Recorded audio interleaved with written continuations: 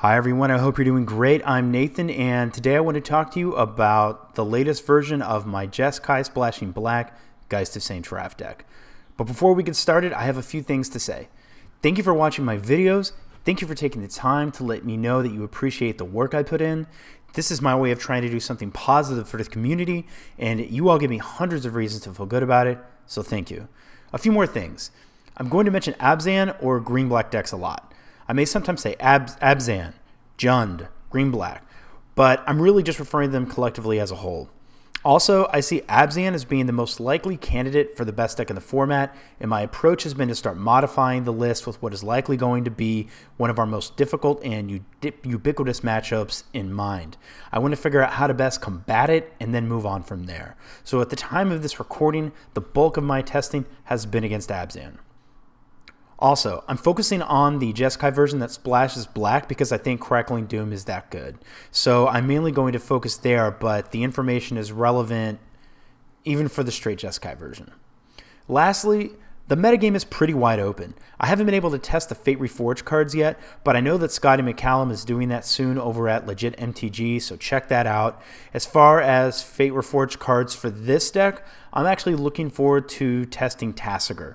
I've played him once in paper for black, and it felt pretty good. He won me the game. Now, this is not a tried and battle tested list against an established metagame. It's really just my first pass on how I think the deck might need to look after a bunch of testing against Abzan. So I'm glad to be able to share what I've learned. Quick announcements. Check back soon because I'm going to be doing a versus video with my buddy Matt so that you can see the Jeskai midrange versus Abzan midrange matchup in all of its glory with both hands visible for you guys to see. I'm also in touch with Vjeran Horvat he won the Grand Prix. He won Grand Prix Prague in January of 2014 with Jeskai Geist, and we're trying to line up a time for him to come and make some videos with me. Last thing, I cannot reply to some of your comments because of how your Google Plus settings are set. I'm going to include a link in the description of the video that I'm going to create uh, to try and help you guys fix that. The last person this happened to is Matt Boone. Matt, I'm not ignoring you.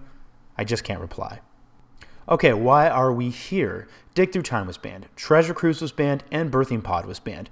We know the deck is going to have to change. We think Abzan is going to become more popular. We think it might be the best deck, and we think the meta is going to slow down. If you guys like this deck, you probably have a bunch of questions. What do we do? How does the list need to change? Should I even play this deck? Well, I have those questions too, and I'm going to do my best to help the community answer them. So I decided to go back go back to what was my favorite version of the deck and the version I had the most success with.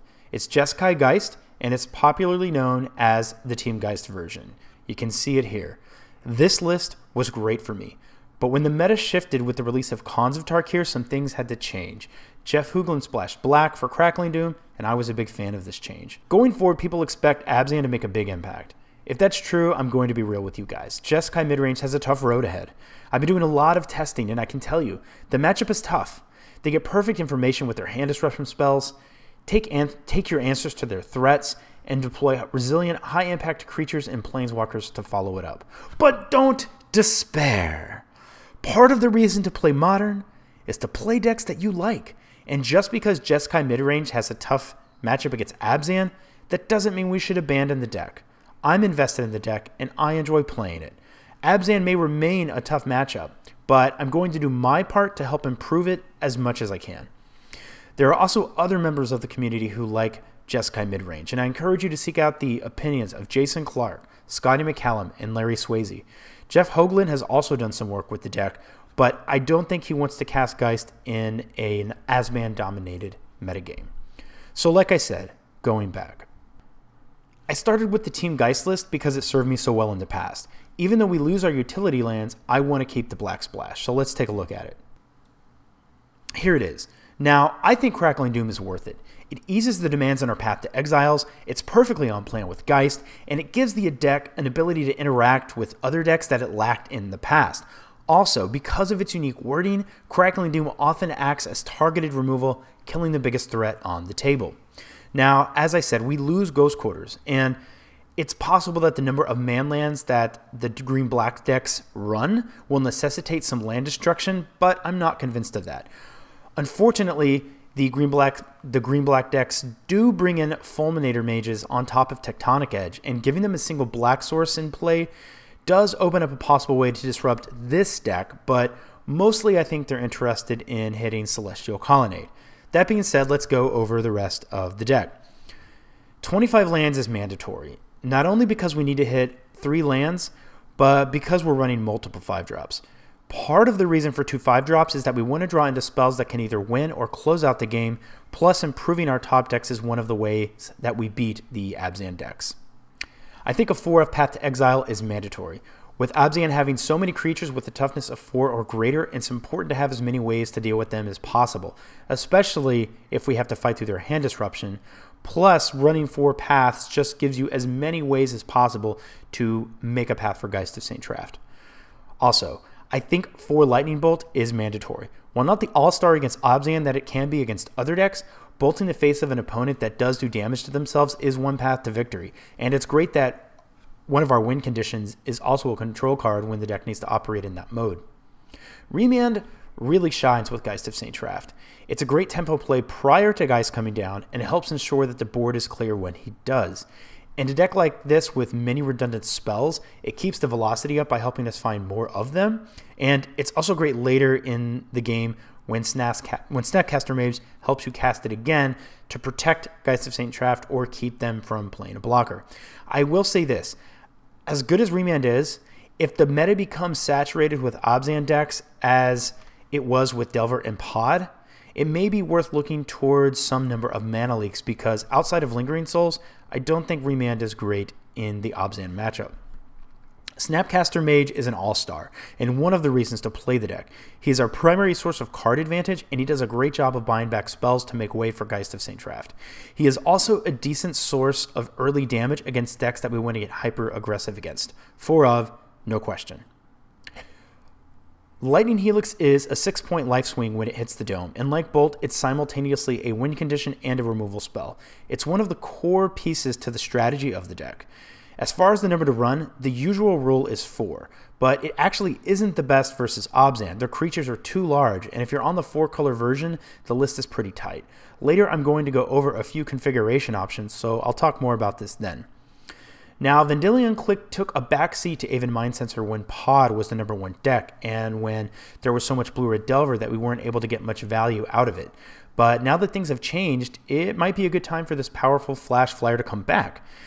Clique is an instant speed threat that, if unanswered, can fly in for a good amount of damage and has the upside of disrupting your opponent's hand while providing you with great information. It's best against control and combo decks, and while I'm not sure it's the best card in the slot right now, and it remains to be seen if Fate Reforged offers us anything as an alternative. But for now, I can't think of anything better. Against Abzan, it can surprise the Liliana after they've plussed her, but unfortunately, it matches up pretty poorly against Lingering Souls. Geist of St. Traft is the powerful card the deck is built around. If a path can be cleared for him, he will quickly end the game. Very few decks main deck ways to get rid of him, and at worst, he's an overcosted Boros charm. There are games that Geist will get you a free win simply because your opponent cannot deal with him, and he's great against almost any deck running a combination of blue and red. Electrolyze is one of the best spells in the Jeskai arsenal. When it's good, it's nearly a 3 for 1, getting rid of two of your opponent's cards while replacing itself. When it's bad, it's still a 2 damage burn spell that keeps velocity up by drawing a card. It doesn't kill the primary threats in the Abzan matchup, but it does take care of the Lingering Souls tokens, which is a good reason to keep it in. Now, Crackling Doom is the primary reason for the Black Splash in this deck, and while it may seem odd to splash black for only a few cards, the effect is very powerful.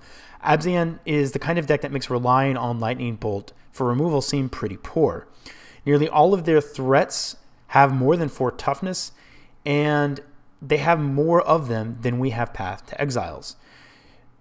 Crackling Doom really helps that problem by acting like targeted removal for their biggest guy, and it will also occasionally kill a creature while simultaneously killing a Liliana of the Veil. Restoration Angel has a number of favorable targets to blink in this deck. You can buy more value out of Snapcaster Mage or Vendilion Clique, save a Geist from suiciding himself into a Tarmogoyf, or blink a Thundermaw Hellkite to take care of additional Lingering Souls tokens. On her own, she's a great surprise blocker and is another good damage instant speed threat that is resilient to Lightning Bolt and Abrupt Decay. Finishing up the main deck, we have our five drops Thundermaw Hellkite and Batterskull. Thundermaw is great as a finisher, and unless he's killed, he's always going to get in for five. He will take care of those pesky Lingering Souls tokens to make sure that they can't erase him. And if required, he can also block a Siege Rhino in many sizes of Tarmogoyf. Now, one thing to be aware of is if they cast Lingering Souls, after you cast the big guy, he will be unable to punch through the tokens without help from Restoration Angel. Now, Stormbreath Dragon doesn't have this problem, but it also doesn't kill the Lingering Souls tokens.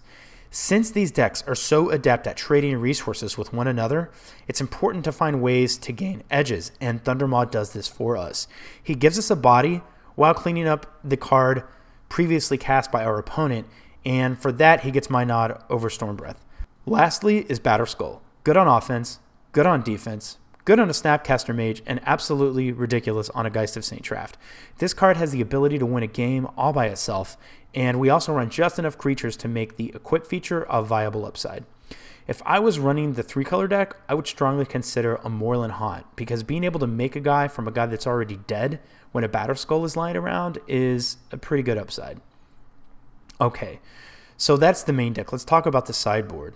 One thing, I'm working on an ultimate Jeskai mid-range sideboarding guide, so to keep this video down in length, I'm not going to mention every deck that has a particular card that is good against it, but I'll try to hit the major ones. All right, I want to mention two cards together because they give the sideboard such great versatility and in many ways they function as catch-alls for things you didn't expect. That's Wear Tear and Engineered Explosives. Against known decks, Wear Tear is good in the Affinity matchup, Boggles, Splinter Twin, and against Storm. It's an answer to things like Choke, Blood Moon, Batterskull, and I guarantee you will come across some deck you have never seen before, and you will be glad to have this spell in your sideboard. Whether or not we bring this in against Abzan depends on how many chokes they do or don't play. Engineered explosives is similar in that it can take care of things you do not expect. Also, after extensive testing, I cannot understate how important this card is in the Abzan matchup. It takes care of everything, and it is often your best way to clean up an army of Lingering Souls tokens. The reason it's so good is that it's adaptable to many different board states. At 0, it kills Lingering Souls. At 2, it kills Dark Confidant, Tarmogoyf, and Scavenging Ooze. At 3, it kills Courser, Liliana, and Choke. And if you're playing 4 colors, it can even kill a Rhino. We want this versus Abzan, Jund, Tokens, the Mirror, Affinity, Zoo, Infect, Boggles, and Merfolk. Relic of Progenitus is also good in the Abzan matchup. It can shrink its Tarmogoyf, gets rid of targets for scavenging ooze, and can stop them from flashing back a lingering souls. It also gives the deck an important way to interact with dedicated graveyard based decks, and the draw ability can help you hit land drops or find answers. We want to side this in versus Abzan. Blue decks with Snapcaster Mage, Living End, Storm, Jund, Dredgevine, and Assault Loam. Celestial Purge is another versatile sideboard card. In the Abzan matchup, it can take care of both Liliana and Siege Rhino, and if they're running Dark Confidant, it kills him as well. There are also other good targets in the format, like Blood Moon, Keranos, Pyromancer's Ascension, Sorin, and Splinter Twin, just to name a few. Counterflux is good against control and combo decks, but we also bring it in in any matchup that benefits from hard counters. We win it versus Storm, Scapeshift, Control, Burn, Amulet of Vigor, and through the Breach decks. We may even win it against the Abzan decks as well. Now, the third Crackling Doom is in the side. This comes in versus the Mirror, Abzan, Jund, Zoo, Affinity, Infect, Boggles, Amulet of Vigor, Tron, really any deck with big or hard to interact with creatures. Wrath of God is the sweeper of choice because of the regeneration clause, but a strong case can be made for Supreme Verdict if you expect a lot of Merfolk. You want this versus Abzan, Zoo, Infect, Boggles, Tokens, Merfolk, and the Mirror. Slaughter Games is a card I'm still unsure of. It's great against Scapeshift because there is nothing they can do to stop it, and it takes Scapeshift. It also isn't bad versus Tron. I'd bring this in against Storm, Ad Nauseam, Amulet of Vigor, combo, through the Breach decks, and anything you can punish by taking a known card, a known key card. We also have a Keranos. This comes in against any matchup that is likely to be long. It's a win condition and a source of card advantage. It's difficult for decks to remove. We won it in all of the green black matchups against Control and Splinter Twin. Lastly, is what is really a flex slot. I'm not sure what I want here. It could be a negate. It could be another Celestial Purge. It could be a Stormbreath Dragon for decks that rely heavily on Path to Exile. Maybe it's this Blood Baron. Maybe it's a Wurmcoil Engine because that card is sweet. Shatterstorm, another Wrath, some Burn Hate. I'm not sure. We'll have a better idea as the meta shakes out. I've also been testing Sower of Temptation in the junk matchup, but I'm not sold on it. I think we just want to be more proactive, but it's been interesting. Also, a word of caution. Leyline of Sanctity is not good. I tried it. Sure, blinking their discard is great, but when it comes back to clunk up your draw steps, you're going to be sad. Also, if you side in three ley lines and then draw a reasonable seven, you're going to be forced to keep that seven, and you're likely going to draw into an annoying and dead ley line later down the road. They take up too much sideboard space, they're awful top decks, and they do nothing in multiples. Leyline is better in decks that need to protect themselves so they can combo off or win in a hurry. Leave it for them. Now, with regard to possible configuration changes, I've tested cutting one Helix, one Remand, and adding in two Mana Leaks. Mana Leak is better versus Abzan, and I like having a hard no sometimes. I've also tested cutting a Remand and or a Helix for the third Clique. These changes are small, and it's hard to say which is best. I will say that Leak is definitely better than Remand in the Abzan matchup, so that's something to consider. There is also Tasigur, like I mentioned in the video. I can see replacing the 2 of Clique, but a lot of testing still needs to be done there. So why would you want to play this deck, or even straight Jeskai with no Black Splash? A lot of it is a preference thing. If you just want to play the best deck in the format, this might not be it. The Abzan matchup is in their favor, and while I think we can improve it, I don't think we can improve it to the point that it's strongly in our favor. That being said, the deck has a reasonable game against basically everything. It's a fun deck to play, it's very interactive, and it can really straddle the line between control and aggro, and it rewards skilled play. Also, geisting people is fun. People will tell you he's bad because everything blocks him, and then tilt when you jam him on the table because they can't deal with him. Lastly, anyone who tells you that Jeskai midrange is a bad deck is wrong. It's a fair and solid midrange deck, and if you have luck on your side, it has enough power to go all the way at a major event. For me, I play Jeskai midrange because I like casting Geist, I like all of the spells, and I think it's a fun deck to play. Alright guys, I hope you enjoyed the video. I will of course continue working on this deck, and I'm also curious to see what the guys over at Legit MTG are doing with the straight Jeskai version. I'm looking forward to hearing your thoughts, so please comment. And as always, thank you for watching. If you like what you see here, please consider subscribing. I'd greatly appreciate it. Draw well and smash face.